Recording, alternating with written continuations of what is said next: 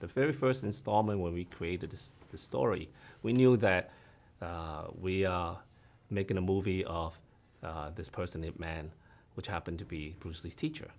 And we had a, truly a historical responsibility as a filmmaker, how we're going to go about it. Are we going to make a documentary shooting exactly how his life uh, involved uh, with Bruce Lee? I've always been a Bruce Lee fan. And uh, for me, it is very honorable that they were giving me this role eight years ago, and then eight years later, you know, playing the, the third installment. Not to mention having Mike Tyson, Well, you know, say. the, the, the additional uh, extra uh, boost that Mike gave, gave to the film. You know, it's just uh, having Bruce Lee and Mike Tyson in the same film. What, what more do you want?